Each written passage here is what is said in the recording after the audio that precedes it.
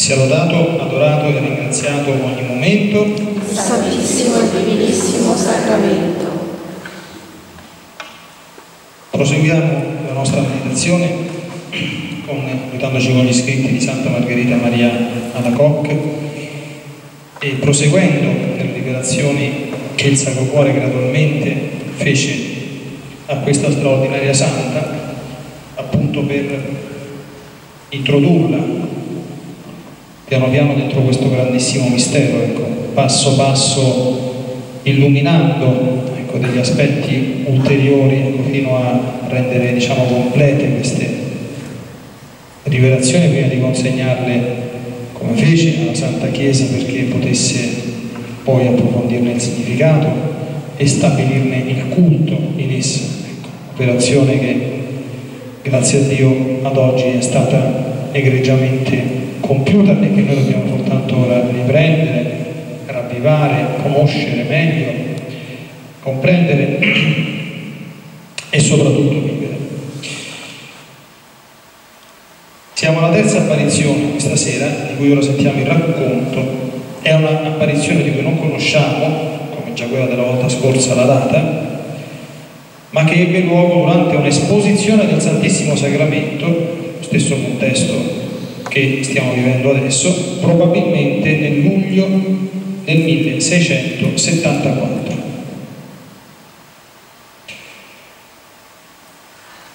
Dopo che mi sentii tutta assorta nell'intimo del mio essere, per un raccoglimento straordinario dei miei sensi e delle mie facoltà, Gesù Cristo, mio dolce Maestro, si presentò a me tutto splendente di gloria con le sue cinque piaghe sfolgoranti come cinque soli. Da questa sacra umanità uscivano fiamme da ogni parte, ma soprattutto dal suo adorabile petto, che rassomigliava a una fornace. E dopo averlo scoperto, mi scoprì il suo amante e amabilissimo cuore, fonte viva di quelle fiamme. Fu allora che mi svelò le meraviglie inesplicabili del suo puro amore. E fino a quale eccesso questo l'aveva spinto ad amare gli uomini, dai quali non riceveva in cambio che ingratitudini e indifferenze. Questo mi ferisce di più, mi disse, di tutto ciò che ho sofferto nella mia passione in quanto se mi rendessero un po' d'amore in cambio, stimerei poco tutto ciò che ho fatto per loro e vorrei, se fosse possibile, fare ancora di più. Invece non hanno che freddezze e ripulse per tutte le mie premure a far loro del bene. Tu almeno guarda, dammi questo piacere di supplire alle loro ingratitudini per quanto potrei essere capace. Confessando la mia impotenza mi rispose, guarda, ecco con che supplire a tutto ciò che ti manca. E allo stesso tempo, essendosi questo divin cuore aperto, ne uscì una fiamma così ardente che pensai di esserne consumata, perché ne fui tutta penetrata e non potendo più sostenerla gli chiesi di aver pietà della mia debolezza. Sarò la tua forza, mi disse, non temere niente, ma stai attenta alla mia voce e a ciò che ti chiedo per disporti al compimento dei miei disegni. C'è una seconda parte di questa terza apparizione che leggeremo subito dopo una breve meditazione comune su quello che abbiamo appena ascoltato.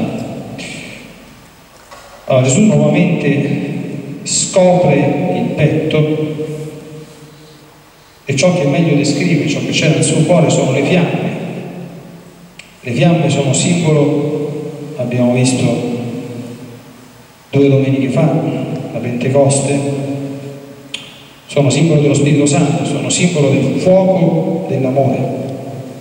E infatti questo petto viene descritto come rassomigliante ad una fornace e abbiamo sentito poi come Gesù attraverso un fenomeno mistico straordinario ecco, abbia fatto uscire una fiamma viva fino a raggiungere, toccare il cuore di Santa Margherita che penetrata da quella fiamma sentì di non poterla sostenere tanto era forte e veemente la violenza, si potrebbe dire, la forza dell'amore di Gesù.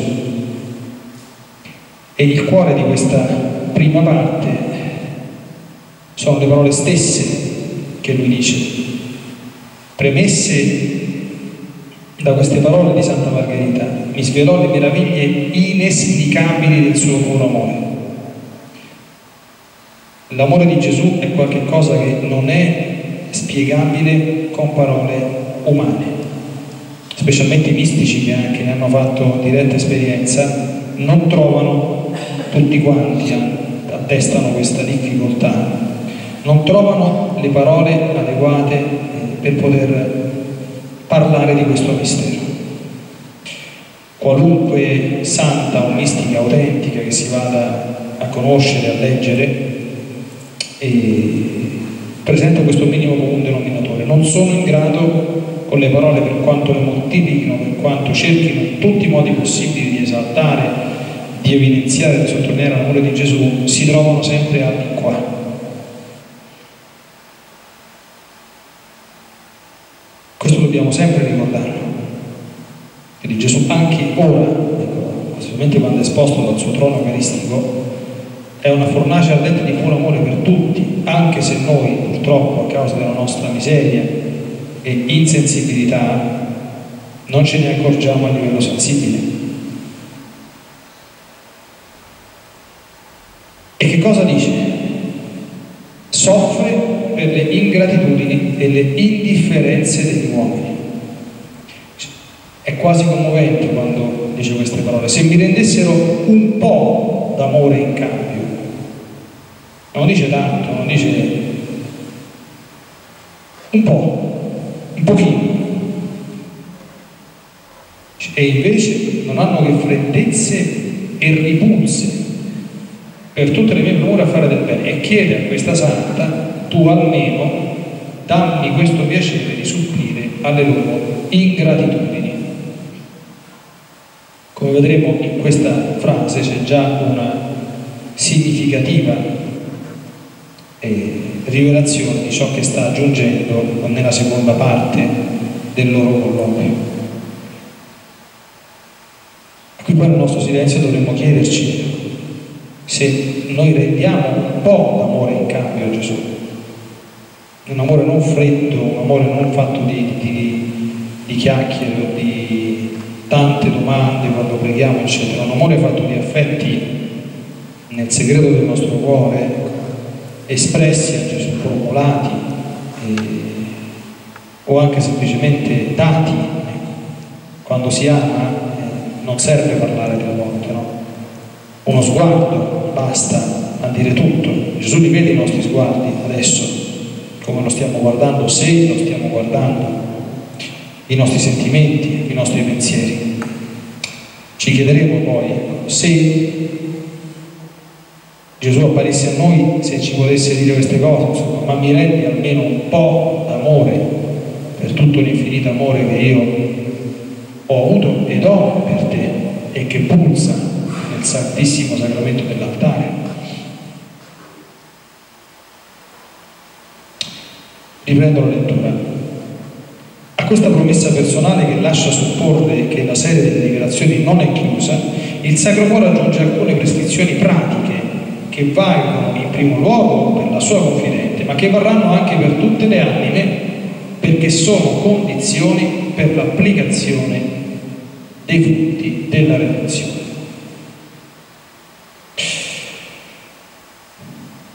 Dice Gesù, per prima cosa tu mi riceverai il Santo Sacramento per quanto l'obbedienza te lo consentirà. Le mortificazioni e umiliazioni che te ne verranno dovrai riceverle come impegni del mio amore. Ti comunicherai inoltre il primo venerdì di ogni mese. Ora ascoltate bene.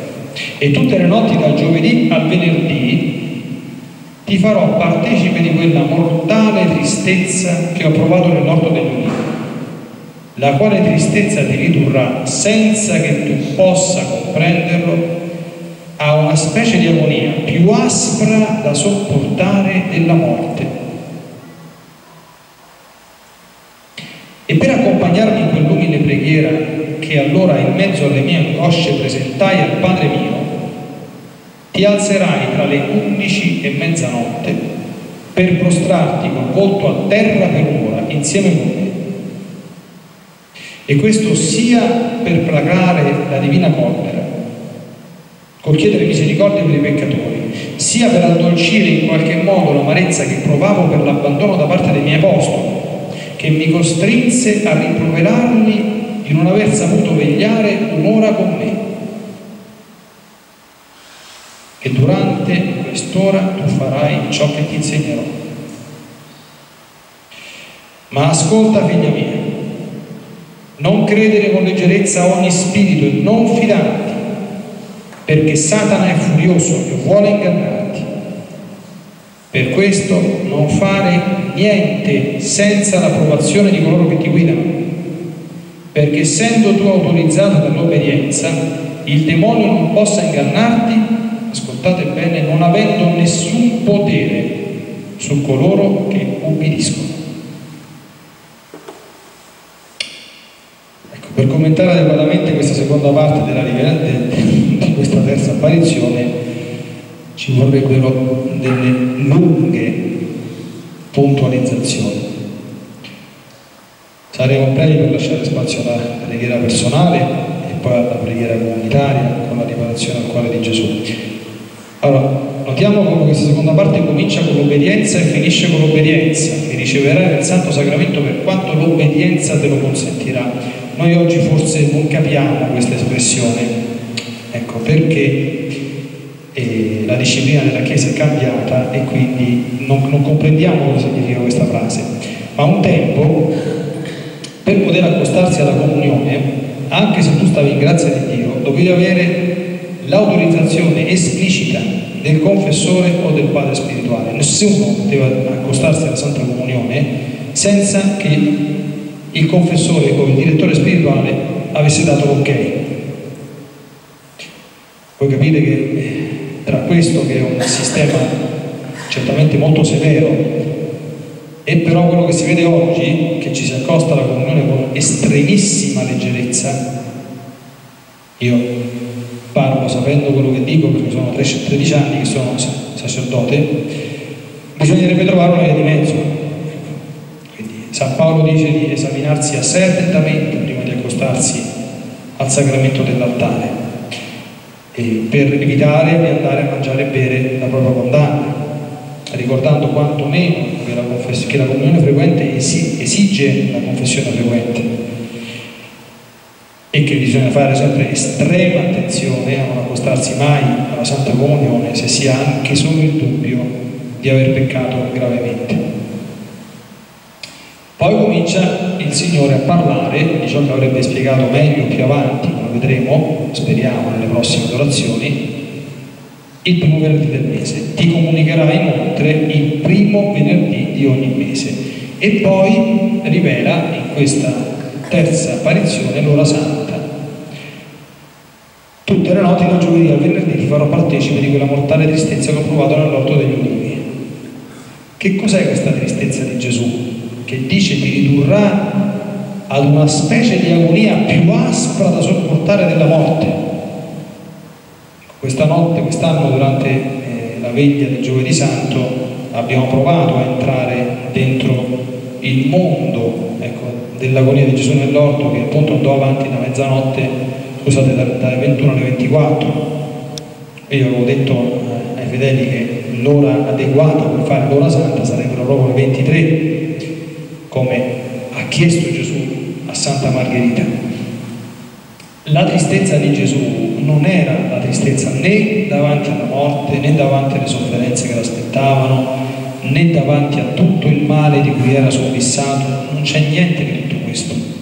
La tristezza di Gesù era derivante la cosa più importante dal fatto che molte anime, nonostante tutto quello che stava per fare, sarebbero dannate. E ci sarebbe stata questa mancata corrisponsione tanto amore che Gesù stava corrispondendo. Questa è la causa principale. Ed è per questo che dice addolcire in qualche modo l'amarezza che provavo per l'abbandono da parte degli apostoli. I primi, purtroppo, a cadere, e proprio in quella notte furono gli apostoli. C'era il grande filosofo Pascal che disse, che scrisse delle parole molto belle a proposito di questo particolare, no? Quindi vedere Gesù, Dio, che chiede l'aiuto di tre uomini, Pietro, Giacomo e Giovanni, dice state con me e vegliate con me. Tre volte, dicono i Vangeli, va a controllare se stavano svegli e tre volte li trova a dormire. E Pascal scrisse, dice, come mai Gesù in questa circostanza, lui che Dio chiede aiuto agli uomini in quel modo così accorato, no? Dice, mi raccomando, vegliate, fatemi compagnia, non dormite. Lui dice perché cominciava a sentire il mistero enorme dell'abbandono del Padre, quella solitudine profonda che derivava dall'essere carico, proprio letteralmente carico dei peccati di tutta l'umanità. E il peccato, ecco, che è, il peccato è, come dire, è l'antidio per antonomasia, è proprio la negazione di ciò che è, orrore. E quindi, capite, noi sappiamo che il peccato anche se non ne siamo consapevoli, separa da Dio. Eh? Il peccato mortale causa una separazione tra l'anima e Dio, una distanza. Ecco, immaginate che Gesù, senza essere ovviamente peccatore, però fin da Getsemani si è preso su di sé, si è fatto carico di tutti i peccati di tutta l'umanità, a partire dal peccato originale fino all'ultimo peccato che commetterà l'ultimo uomo e sarà presente sul pianeta Terra. Cioè noi non possiamo assolutamente renderci conto di una cosa di questo genere, no? E quindi il sentire tutto questo uragano di male addosso in qualche modo lo faceva sentire separato dal Padre, ecco, perché capite il peccato è odiato da Dio, il peccatore no, ma il peccato sì. Il peccato attira la collera divina, come abbiamo sentito qui. Ecco, e Gesù chiede passa un'ora prostrata col volto a terra insieme con me. Eh, perché prostrata col volto a terra? Per riprodurre in qualche modo la preghiera che Gesù fece nell'orto. Gesù, ci dicono i Vangeli, pregava prostrato, quindi sapete che pregare prostrati col volto a terra significa da un lato è proprio la massima forma di adorazione possibile no? e di umiliazione a Dio del proprio nulla, ma anche esprime la preghiera proprio di supplica accorata, ecco, di richiesta di aiuto eh, urgente, ecco, impellente a tutti i costi. Ecco. E questo dice Gesù sia per placare la divina collera e sia per addolcire in qualche modo l'amarezza che provavo per l'abbandono da parte dei miei apostoli.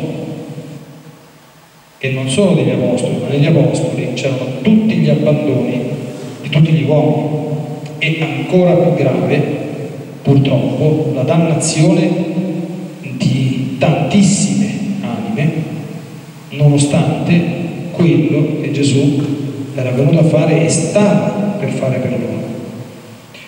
Noi per quanto ci sforziamo con, con le parole umane di, penetrare in questi misteri, ripeto, siamo sempre molto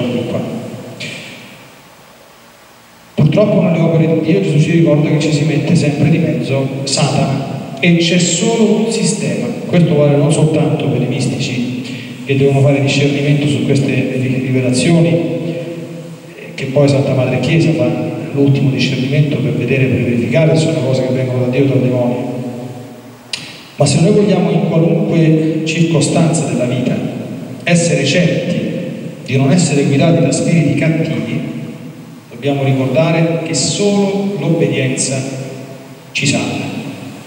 È chiaro che per noi l'obbedienza non è, eh, non abbiamo delle forme di obbedienza istituzionale, non siamo religiosi, non siamo consacrati, eh, ma possiamo però chiedere aiuto, tutti, al Padre spirituale, cercarlo, o al confessore.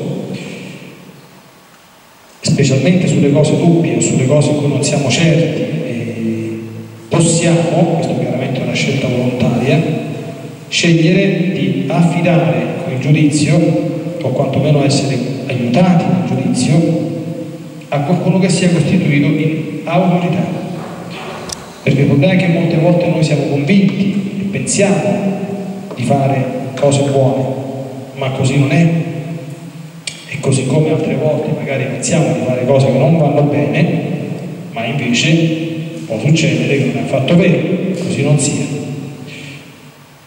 Solo Dio è in grado di autocondursi e di fare da solo. Ecco, noi dobbiamo avere tutti l'umiltà di chiedere aiuto, perché senza questo aiuto, cioè che non è certamente prescritto sotto pena di peccato, ma rischiamo ecco, di eh, diventare anche inconsciamente una specie di, di, di marionetto di burattino nelle mani del diavolo. Siamo convinti di fare cose buone, ma invece magari è possibile che siamo ingannati e c'è bisogno di qualcuno che ci aiuti a comprendere l'inganno. Quel qualcuno è solo un uomo di Dio, ecco, legittimato certamente dalla, dalla Chiesa a poter esercitare un ministero sacro, che possa aiutarci a discendere in forza dell'obbedienza. Sia lodato, adorato e ringraziato ogni momento. Santissimo Divinissimo Sacramento